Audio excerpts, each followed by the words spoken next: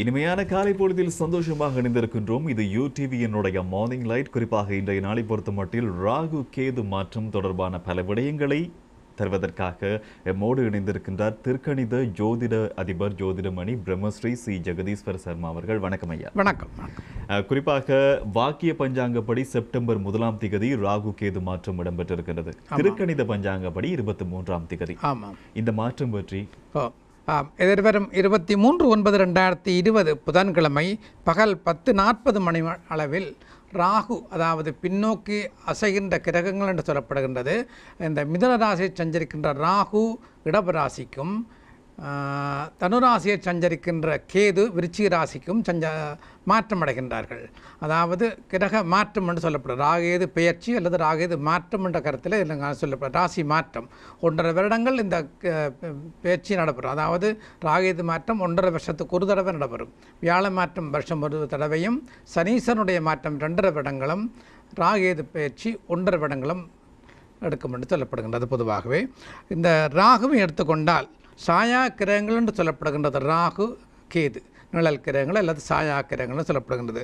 புளிப்பு பித்தம் குடல் சம்பந்தமான நோய்களுக்கு அதிபதி ராகு என்று சொல்லப்படுகின்றது. அத்தோடு விஷஜந்துக்களால் பயம் என்பனவற்றையும் இந்த ராகு ஏற்படுத்துகின்றது.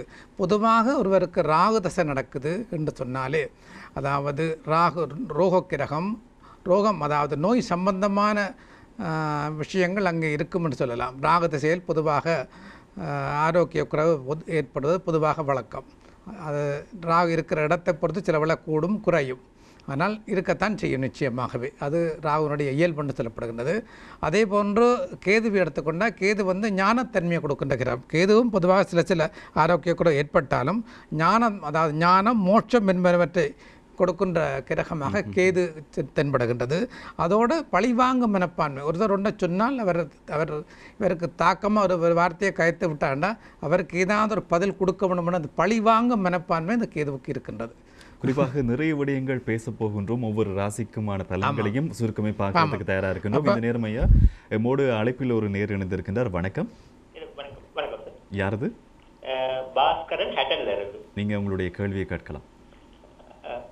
என் மகன் ராசி வந்து மேச ராசி.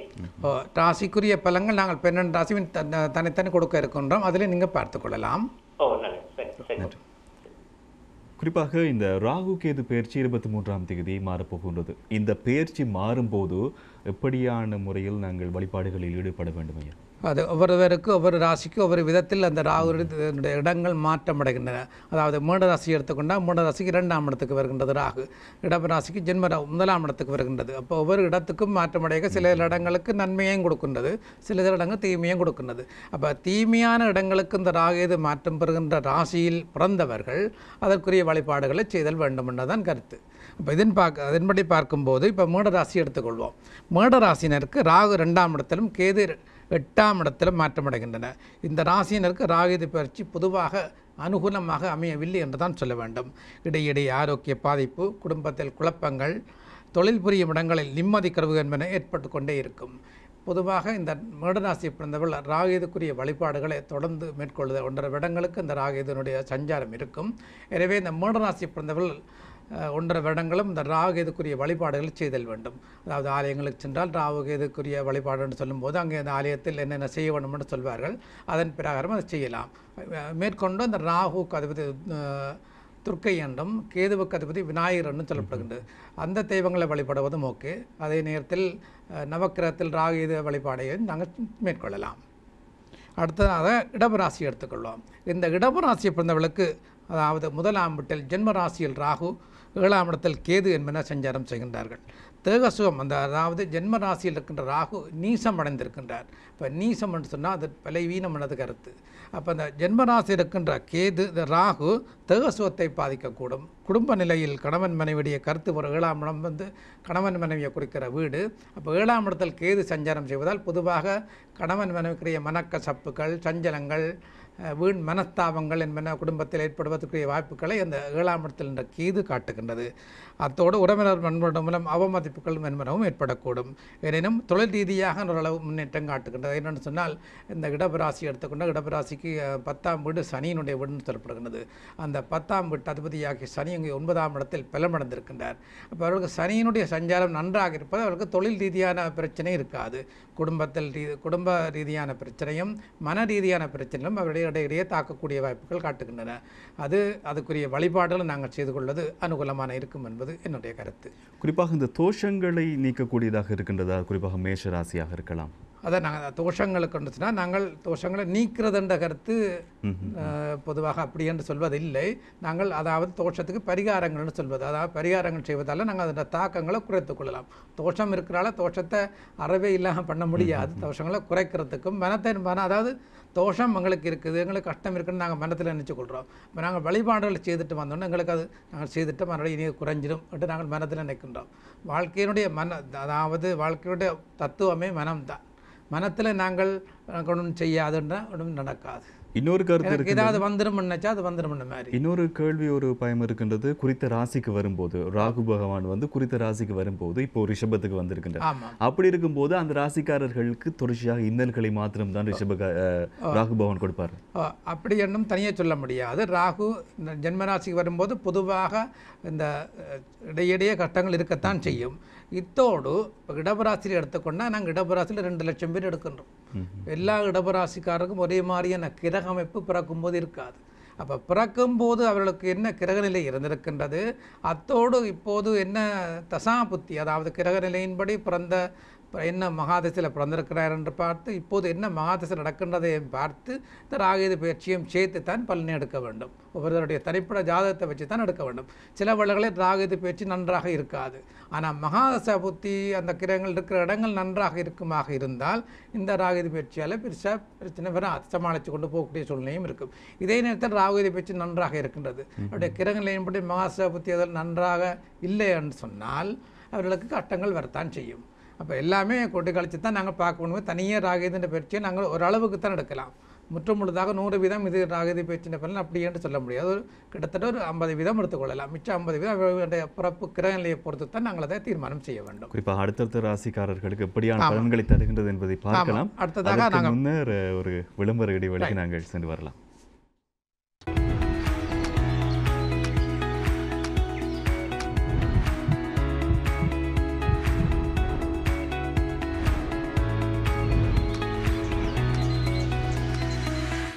யூடிவியின் மார்னிங் லைட்டோடு இணைந்திருக்கின்றோம். இன்றைய நாளில் ராகு கேது மாற்றம் தொடர்பான அந்த ராகு கேது பயிற்சி தொடர்பான சந்தேகங்களுக்கும் ராசிகளுக்குமான பலன்களை தந்து கொண்டிருக்கின்றார். திருக்கணித ஜோதிட நிலைய அதிபர் ஜோதிடமணி பிரம்மஸ்ரீ சி. ஜெகதீஸ்வர சர்மா அவர்கள் ஐயா அடுத்த ராசியாக நாங்கள் மிதன ராசிக்கு செல்வோம். இந்த மிதன ராசி எடுத்துக்கொண்டால் மிதன ராசிக்கு ராகுவான் பன்னிரெண்டாம் வீட்டுக்கு நீசமடைந்து வருகின்றார். அதே நேரத்தில் கேது பகவான் ஆறாம் வீட்டுக்கு வருகின்றார். இந்த ஆறாம் பன்னிரெண்டாம் இடங்கள் அதாவது ராகு பன்னிரெண்டாம் இடத்திலும் கேது ஆறாம் இடத்திலும் சஞ்சரிப்பது பொதுவாக இவர்களுக்கு ஒரு நற்பலங்களை கொடுக்கக்கூடியதாகவே இருக்கின்றது. அதாவது தீய கிரகங்கள் என்று சொல்லப்படுகின்றது. செவ்வாய் சனி ராகு கேது சூரியன். இந்த தீய கிரகங்கள் மரபு நன் நன்மையை தருமன்னு சொல்லுவோம் அதாவது கெட்டவன் கெட்டடத்து கொண்டா நன்மை கெட்டவன் நல்லிடத்து வந்தால் கூடாது. அதாவது சொல்கிறது கெட்டவன் கெட்டடில் கெட்டிடும் ராஜயோகம்னு சொல்வார்கள். அந்த கருத்தின் பார் பற்றி பார்க்கும்போது பன்னிரெண்டாம் இடம் மறைவு ஸ்தானத்துக்கு ஆகவும் கேது ஆறாம் இடத்துக்கும் வருவது பொதுவாக இவர்களுக்கு அனுகூலமான பலங்களை தரக்கூடியதாக இருக்கின்றது. தொழில்துறையில் சிறப்பான முன்னேற்றம் காத்திருக்கின்றது. குடும்பத்தில் குதூகலம் தெரிகின்றது. எனினும் இவர்களுக்கு மிதனராசியை பிறந்தவர்களுக்கு பொதுவாக இப்போ அட்டமத்து சனி நடைபெற்று கொண்டிருக்கின்றது. அப்போ அந்த அட்டமத்து சனியுடைய தாக்கங்களும் இடையில் இருக்கத்தான் செய்யும். இருந்தாலும் இந்த ராகினுடைய பயிற்சி அவர்களுக்கு கெடுதலை கொடுக்காது என்பதை நாங்கள் நம்பக்கூடியதாக இருக்கின்றது. இனி வரும் ராசியாக கடகராசியை எடுத்துக்கொள்வோம். இந்த கடகராசியை பிறந்தவர்களுக்கு ராகு பதினோராம் இடத்திலும் கேது ஐந்தாம் இடத்திலும் சஞ்சாரம் செய்கின்றார்கள். பதினோராம் இடம் பொதுவாக பதினோராம் இடம் லாபத்தானம் என்று சொல்லப்படுகின்றது. இந்த லாபத்தானத்தை எடுத்துக்கொண்டால் எந்த கிரகம் லாபத்தானத்தில் இருந்தாலும் அது நன்மையை தரும் என்ற ஒரு கருத்து இருக்கின்றது. அதாவது தீய கிரகமோ சுப கிரகமோ பதினோராம் இடத்தில் நன்மையைத்தான் தரும். அந்த வகையில் ராகு பன்னிராம் இடத்துக்கு மாற்றமடைந்திருப்பதும் ஐந்தாம் இடத்தில் அங்கே கேது உச்சமடைந்த ஐந்தாம் இடம் அதாவது மனத்தையும் சிந்தனையையும் குறிக்கின்ற வீடு. அப்போ ஐந்தாம் இடத்தில் கேது உச்சமாக இருப்பதும் பொதுவாக இவர்களுக்கு உற்சாகமான பலங்களை தரக்கூடியதாகவே இருக்கின்றது.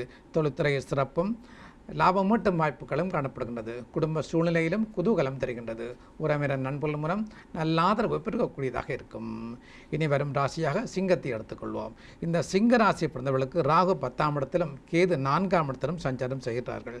இந்த சஞ்சாரத்தை எடுத்துக்கொண்டால் இது ஒரு நன்மை தீமை கலந்த ஒரு பொதுவான பலன்களையே தரக்கூடியதாக இந்த சிங்கராசினருக்கு இருக்கின்றது.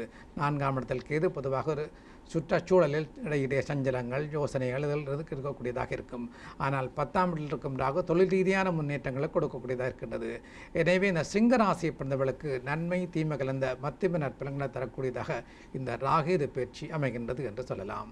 இனி வருவது கன்னிராசி எடுத்துக்கொள்வோம். இந்த கன்னிராசி பிறந்தவர்களுக்கு ஒன்பதாம் வீட்டில் ராகு நீசமடைந்திருக்கின்றார். மூன்றாம் இடத்தில் கேது சஞ்சாரம் செய்கின்றார். பொதுவாக இந்த கன்னிராசி பிறந்ததுக்கு ஒன்பதாம் இடத்தில் இருக்கின்ற ராகுனுடைய சஞ்சாரம் நன்மையை தரக்கூடியதாக இருக்கின்றது.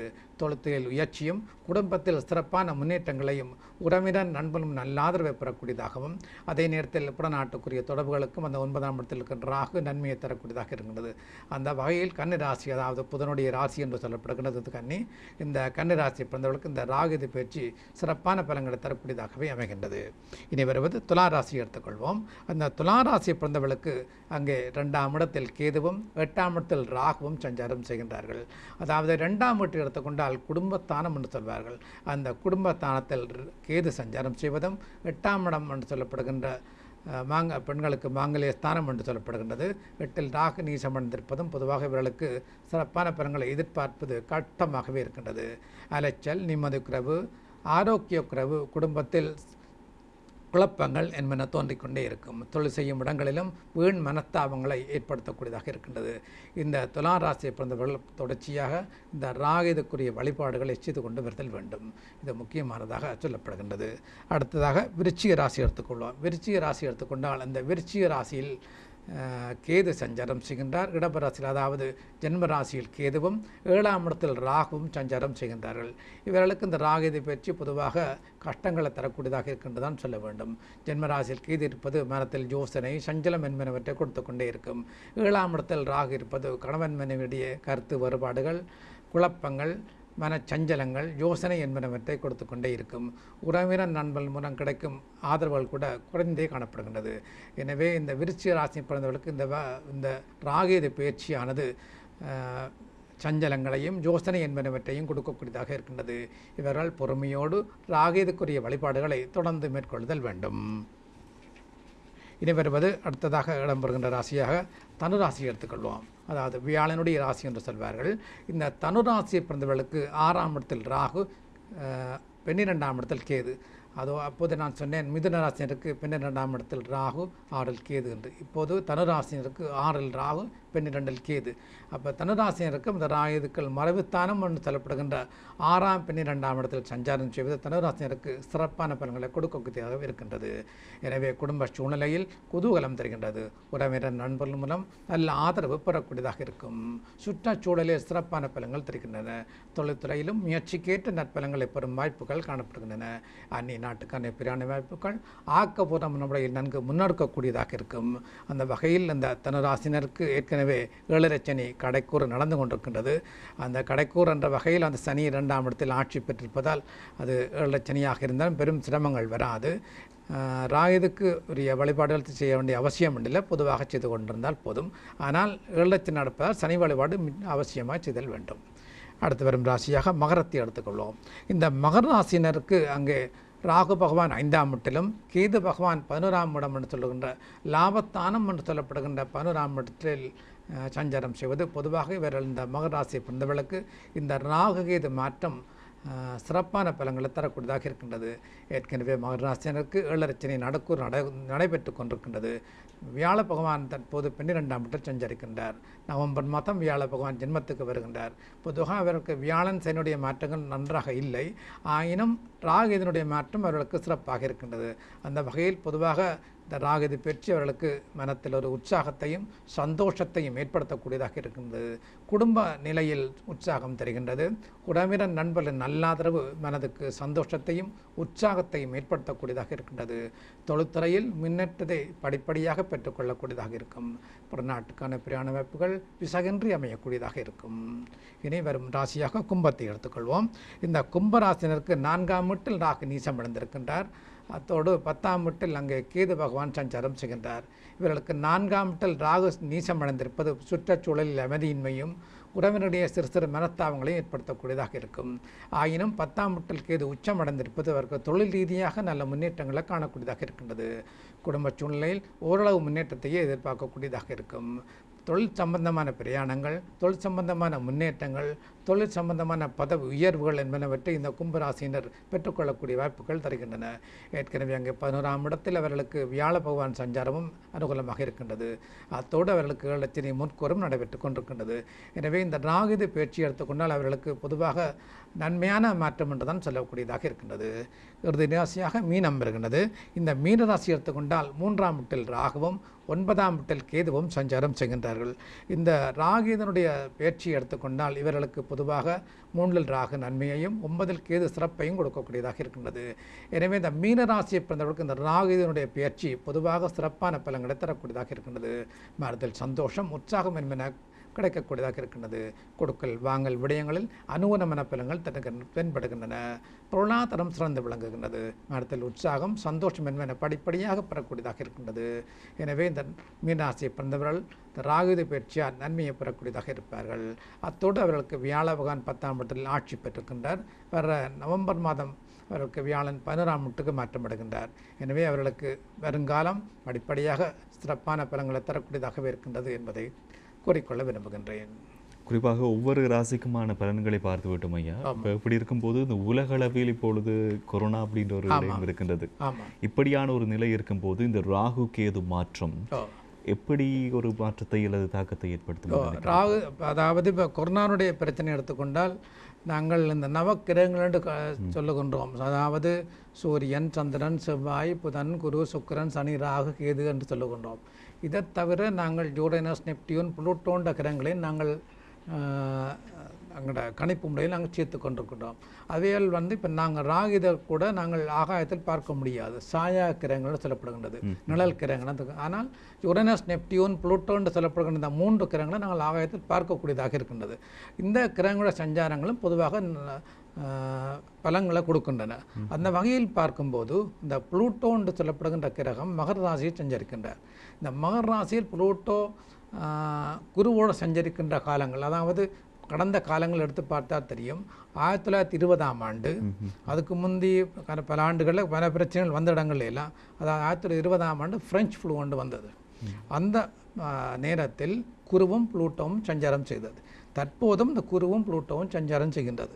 அதாவது குரு மக இப்போ தற்போது தனுராசி இருக்கின்றது. நெப்டியூன் மகர ராசியும் சஞ்சரிக்கின்றார். அப்போ தான் குரு மகர ராசிக்கு வந்து புளூட்டோட சேரும்போது அந்த கொரோனா பிரச்சனை ஆரம்பித்தது. தற்போது குரு தனுவுக்கு போனாலும் அந்த இடத்தூரம் கிர இடத்திருத்தத்துக்கு அதாவது நெப்டியூனுடைய பாகையும் குருவுடைய பாகையும் பெரிய வித்தியாசம் வரும் கொஞ்சம் வித்தியாசத்துக்குள்ள ராசி மாற இருந்தாலும் இருக்கின்றது. இனி வியாழ பகவான் மகர ராசிக்கு வரப்போகின்றார். மகர ராசிக்கு வந்து திருப்பி கும்பராசிக்கு போகின்றார் அடுத்த வருஷம். அதாவது அடுத்த மார்ச் மாதம் கும்பராசிக்கு போய் அடுத்த ஜூலை மாதம் திருப்பி வக்கரத்தில் வந்து அதுக்கு பின்னர் நவம்பர் மாதம் திருப்பி போவார் கும்பராசிக்கு. அப்போ திருப்பி அந்த வியாழ பகவான் மகர ராசியை விட்டு தனுராசி மகராசி கும்பராசிக்கு போகுந்தனையும் இந்த பிரச்சனை தொடரத்தான் செய்யும் என்றது என்னுடைய கருத்து. அளவிடப்படுகின்ற இன்னும் ஒரு ஒன்றரை வருடத்திற்கு இப்படியான ஒரு அப்படித்தான் இருக்கும் தான் என்னோட கருத்து ஒரு ஒரு வருஷம் ஒன்றரை கால் வருஷம் இருக்கத்தான் செய்யும். குறிப்பாக பொதுவாக சொல்வார்கள் ஒவ்வொரு ராசி மாற்றமாக இருக்கலாம் கிரக மாற்றங்கள் இப்படியெல்லாம் இருக்கும்போது கடவுளை வழிபட வேண்டிய ஒரு கட்டாயம் இருக்கின்றது. ஆமாம். ஆமாம் அது இந்த வகையில் தான் இந்த தாக்கங்களை தாக்கங்களை நாங்கள் குறைத்துக் கொள்ளக்கூடியதாக இருக்கும். அதாவது நாங்கள் இப்போ எடுத்து அதை அதை இப்போ எடுத்துக்கொண்டால் என்னென்னு சொன்னால் இந்த சமயத்தை எடுத்துக்கொண்டால் நாங்கள் பிற இடங்களுக்கு சென்று விட்டு வீட்டுக்கு வந்தால் கால களைக்கிட்டு தான் வீட்டுக்கு வர வேண்டும் என்று முன்பு சொல்லால் அதெல்லாம் நாங்கள் காலப்போக்கில் மருவி விட்டது. ஆனால் தற்போது இப்போ அதெல்லாம் செய்கின்றோம். அப்போ எமது இந்த சமயத்தின் பண்பாடுகள் செயற்பாடுகள் எல்லாம் தற்போது அதை நிலைநிறுத்தி கொண்டு வரக்கூடிய ஒரு சூழ்நிலையை ஏற்படுத்திக்கின்றது. அதோடு நாங்கள் இப்போ நினைச்சோன்னா நாங்கள் பொதுவாக இந்த கிரகங்களுக்குரிய வழிபாடு என்று சொல்லப்படுகின்றது. அதை பார்க்க போனால் நீங்கள் சொன்ன மாதிரி அந்த கோளறு பதிகம் என்று இந்த கோளாறு பதிகம் என்றது பொதுவாக படித்து கொண்டு வருவது அனுகூலமான பலன்களை தரக்கூடியதாக அதாவது எல்லா கிரகங்களுக்கும் உரிய வழிபாடாக அந்த பதிகம் நாங்கள் தினந்தோறும் அதை படித்து கொண்டு வருவது மனதுக்கு ஒரு உற்சாகத்தை தரக்கூடியதாக இருக்கும். கோள் அதாவது கோளனுடைய தாக்கங்களையும் நாங்கள் குறைத்துக் கொள்வதற்குரிய அனுகூலங்களை பெறக்கூடியதாக இருக்கும். பொதுவாக இப்போ அஹ், ராகு கேது மாற்றம் இருக்கின்றது. குறிப்பாக ஏழரை சனியில் இருக்கக்கூடிய ராசிகள் இருக்கின்றன. முதல் இரண்டாம் மூன்றாம் கட்டம் ராசிகள் இருக்கின்றன. பிறகு குரு மாற்றம். இப்படி ஒவ்வொரு மாற்றங்களும் நிகழும் போது அதிகமாக எதனுடைய தாக்கம் அந்தந்த ராசிக்காரர்களுக்கு ஏற்படும் குறிப்பாக ராகுவா அல்லது சனி பகவானினுடைய அந்த சனிக்கிரக மாற்றமா அல்லது குருவின் இதில் பாரிய கிரகங்கள்னு சொல்லப்படுகின்றது குருவும் சனியும். அந்த குரு சனியினுடைய தாக்கங்கள்லாம் கூடுதலாக இருக்கும். அதில் பார்க்க ராகுனுடைய பயிற்சி குறைவாகத்தான் இருக்கும். அந்த ராகுடைய பயிற்சியை எடுத்து பார்க்கும்போது குரு பயிற்சி சனி பயிற்சி ராகுதி பயிற்சின்னு சொல்லும்போது குரு சனி பயிற்சி ரெண்டும் கொஞ்சம் பாரிய தாக்கங்களை கொடுக்கக்கூடியது. ராகுதி பயிற்சி குறைவாக இருக்கும். ஆனால் கிரக அதாவது ஒருவருடைய கிரக நிலைகளை எடுத்து நாங்கள் பார்க்கும்போது அந்த அவர்களுக்கு ராகு தசை இல்லை ராகு பற்றி நடக்கின்றா அந்த ராகுனுடைய தசை நடக்கிற காலங்கள் பாரிய தாக்கங்களை கொடுக்கக்கூடிய விளைவுகளையும் நாங்கள் சந்திச்சிருக்கின்றோம் அது பொதுவாக பல பலங்களை ராகிதுக்கள் அப்படியான பலங்களை கொடுக்கின்றன. ராகிது நாங்கள் கண்ணுக்கு தெரியாத ஒரு கிரகம்தான். இருந்தாலும் நடைமுறையிலையும் செயற்பாட்டிலையும் ராகுடைய விளைவுகள் பாரதூரமானவை. ராகுவை போல கொடுப்பாரும் இல்லை கேதுவை போல கொடுப்பாரும் இல்லைன்றெல்லாம் ஒரு பழமொழி சொல்லப்படுகின்றது. அந்த வகையில் ராகு வந்து என்னென்னால் ஆரம்பத்தில் கொடுக்குற மாதிரி கொடுக்கும் பிறகு கஷ்டங்களை கொடுத்து விட்டுரும் அதாவது பதினெட்டு வருஷம் ராகு தசைன்னு சொல்வார்கள். அந்த ராகு சே- முற்பகுதி சில நன்மையை கொடுத்தனா பிற்பகுதியில் கஷ்டங்களை கொடுக்கும். கேது பகவான் சில இடங்களில் ஆரம்பத்தில் கஷ்டத்தை கொடுத்து பிறகு மனத்தில் ஞானத்தையும் மோட்சத்தையும் கொடுக்கக்கூடிய தன்மை அந்த கேது பகவானுக்கு இருக்கின்றது. ஒரு சின்ன ஒரு கேள்வி குறிப்பாக இப்படியான மாற்றங்கள் நிகழும் போது இந்த குறித்த ராசிக்காரர்களுக்கு ராகு மாற்றம் இருக்கும்போது அப்படி இல்லைண்டா அஹ், சனி மாற்றம் என்று எடுத்துக்கொள்வோமே ஏழரை சனியில் இருக்கும்போது இந்த திருமணம் இப்படியான நல்ல விடயங்களில் ஈடுபடலாமா? அதாவது திருமணத்துக்கு இந்த வியாழன் சனி மாற்றங்களை மட்டும் வச்சு தீர்மானிக்கிறது அல்ல அதாவது அவர்களுக்கு திருமணம் செய்வதற்குரிய காலங்கள் நாங்கள் கணிக்கின்றோம். அதாவது கிரக நிலையில் என்ன தசாபத்தி நடக்கின்றது? திருமணத்துக்குரிய தசாபத்தி இருக்கின்றதாக இருந்தால் அது ஏழு லட்சணி இருந்தாலும் கல்யாணம் நடக்கும். சில பேர் வியாழன் அட்டமத்தில் இருந்தால் இப்போ கல்யாணம் நடக்காது. சுபகாரியமும் அட்டமத்தில் வியாழன் இருக்கு. நடக்காதுன்னு சொல்லி அது இப்போ செய்வ சரிவராது என்று சொல்லி விட்டுவார்கள் ஆனால் எத்தனையோ பேருக்கு அட்டமத்தில் வியாழன் இருக்கையும் திருமணம் நடந்திருக்கின்றது. நான் நாள் வைத்து கொடுத்துள்ளேன். காரணம் அவர்களுக்கு ராசி ரீதியாக அட்டமத்து வியாழன் நடந்தாலும் அவருடைய கிரகநிலை ரீதியாக என்ன தசாபுத்தி திருமணத்தோடு தொடர்புடைய தசாபுத்திகள் அஹ், களத்திர ஸ்தானம் ஏழாம் வீடு ரெண்டாம் இடம் குடும்பத்தானம் பதினோராம் இடம் இந்த மூன்று வீடுகளுடைய தொடர்புகளுடைய தசாபத்தியில் நடைபெறும் காலங்களில் திருமணம் நடக்கக்கூடிய வாய்ப்பு இருக்கின்றதை நாங்கள் கணிக்கக்கூடியதாக இருக்கின்றது. அவ்வாறான காலங்கள் வரும்போது இந்த வியாழ சனி மாற்றத்தை பற்றி நாங்கள் பொருட்படுத்த வேண்டிய அவசியம் இல்லை என்பதை நாங்கள் சொல்லக்கூடக்கூடியதாக இருக்கின்றது. குறிப்பாக இன்னொரு சந்தர்ப்பத்திலே இந்த ஜாதகம் ராசி தொடர்பான பல விடயங்களை ஆராய்வதற்கான ஒரு நிகழ்ச்சியாக நாங்கள் மாற்றிக்கொள்வோம். எனவே இந்த காலை பொழுதில் எம்மோடு இணைந்து கொண்டு உங்களுக்கு நன்றி சந்தோஷம். நன்றி வணக்கம். இன்றைய மோடு இணைந்திருந்தார் யூடியூபினுடைய மார்னிங் லைட் நிகழ்ச்சிக்காக திருக்கணித ஜோதிட நிலைய அதிபர் ஜோதிடமணி பிரம்மஸ்ரீ சி. ஜெகதீஸ்வர சர்மா அவர்கள் தொடர்ந்தும் யூடிவியோடு இணைந்திருங்கள் நிகழ்ச்சியினுடைய தயாரிப்பாளர் அஜித்துடன் விடைபெற்று செல்லும் நான் என்று மேன்புடன் கோகுல் நிரஞ்சன்.